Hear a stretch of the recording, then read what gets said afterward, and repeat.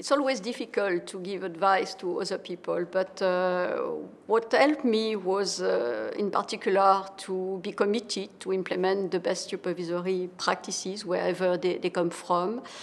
Uh, also, what was uh, helpful uh, was to, to be always ready to cooperate with the other European institutions like the European Commission, the Single Resolution Mechanism, the European Banking Authority, for example.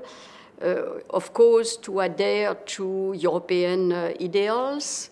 Uh, you need uh, vigor to convince the banks that they have to take into account uh, the supervisory expectations and they have to move in the direction we are asking them to, to move. Uh, and of course, uh, it's a lot of work. Uh, there is a lot of work to, to do for the SSM, and I will certainly focus my advice on be ready to, to work a lot.